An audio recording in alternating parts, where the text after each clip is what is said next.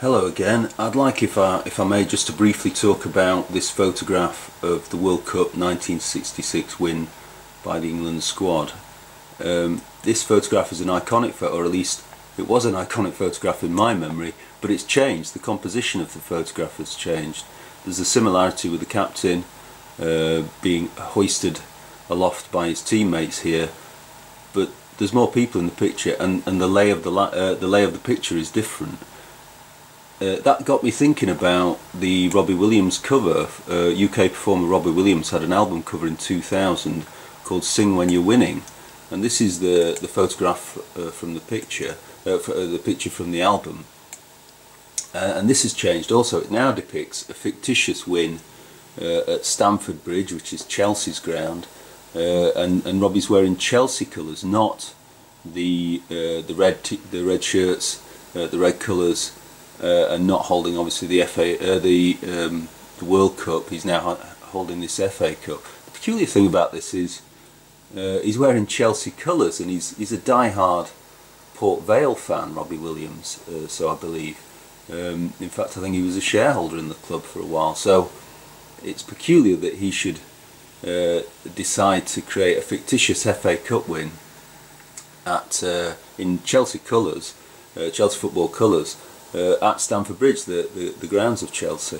I find that peculiar and I think that is why I'm drawn to this particular Mandela effect because it seems strange that the origin of Robbie Williams' photograph uh, has now gone in a similar way to George Bernard Shaw's Thinker uh, which was a photograph taken of George Bernard Shaw the day after he'd seen, seen the uh, unveiling of the statue. The statue's changed but the photo remains and it now has no origin in the same in a similar way uh, this photograph now has no uh, particular origin. Uh, but I did find some residue on the internet and that's what I want to share because it supports my memory uh, and I want to share that with you. If I go on the internet and this is Robbie Williams uh, .com, RobbieWilliams.com photo gallery where he has a page describing the photo shoot Sing When You're Winning sleeve shoot. Cheeky Robbie portraying a streaker there uh, and he also goes on to portray fans managers um, uh, an iconic sort of um, uh, portrayals there of uh, uh, all the, all the Chelsea colours um, with uh, at Stamford Ground, which is like I say strange. He does. there's a bit of text there. He does quote definitely my best artwork. He says um, shot over three days at Stamford Bridge, the home of Chelsea Football Club. Uh, Robbie endured endless hours of makeup, costume, and scene changes. Now, I did email the studio, the, the photographer for this uh, for this shoot, and asked them where they got the inspiration for this photograph because, uh, like I say, it's lost its origin, uh, but it does resonate with me as being the World Cup photograph, which it isn't. Now, going further, uh, we see that's the entry "Sing when you're winning" uh, in Wikipedia. Not fond of Wikipedia, but there it is. 28th uh, August 2000. Uh, and indeed, this uh, the photograph I've got. There's also a BBC review um, which talks about. It does mention, in fact, let's just see, but it's not in the colours, not in the colours of his beloved Port Vale.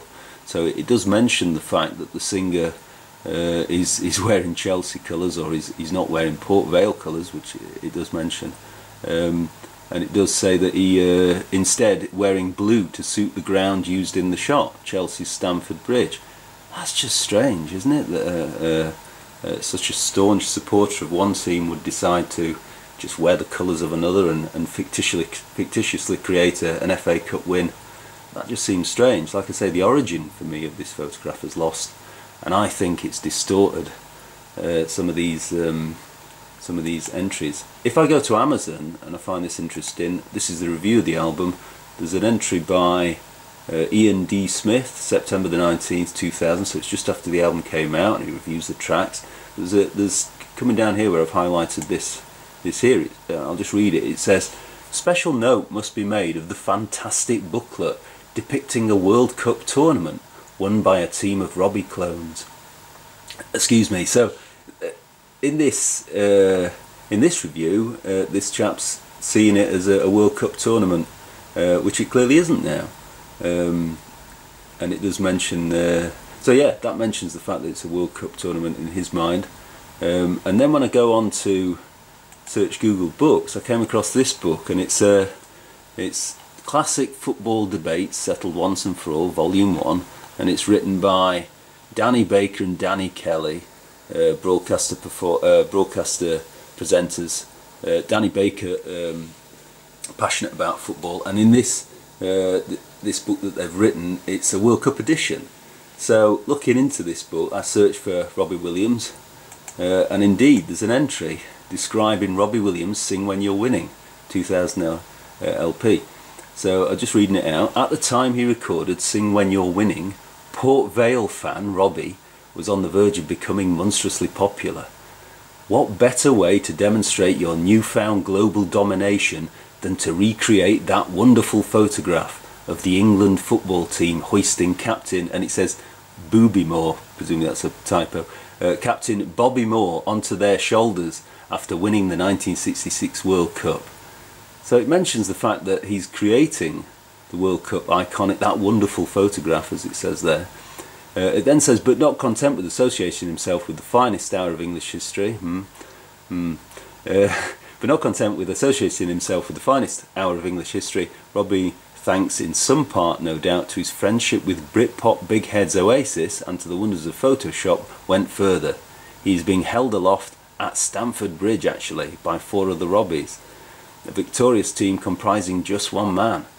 Um, so I, I, it, it describes the photograph. It then mentions the fact that it's at Stamford Bridge. But what's interesting is that it, it seems to say that that uh, Robbie uh, secured the photo shoot at Stamford Bridge from help uh, from his Britpop uh, friends, especially Oasis. That's just peculiar. Oasis are a Man City, uh, Man City uh, fans, excuse excuse me, and um, clearly Photoshop was involved. But I find that strange. It's it, everything seems a, li a little bit uh, out of sorts with itself here. Uh, it's almost like reality is trying to correct itself. Because as I say, in my memory, this photograph um, on the cover of the album, and I did see a television program, a documentary, which I can't find any evidence for now, uh, showed Robbie Williams in red shirts holding the World Cup, and that's supported by the review from the chap in Amazon. Uh, and there's a, this peculiar entry in this Danny Baker book, or Danny Baker and Danny Kelly book. Um, I just wondered, what do you remember? Do you remember this photograph as it as it's shown here, or did it more resemble the the positioning and the um, uh, the characters as shown in this mock-up, uh, which is now just fictitious. But uh, that was it, it, it, was carefully positioned. I remember in the television program they morphed from one Robbie character to the other, and you can't, you can't do that now.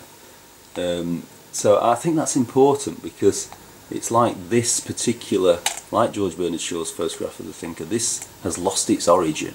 It has no uh, context now.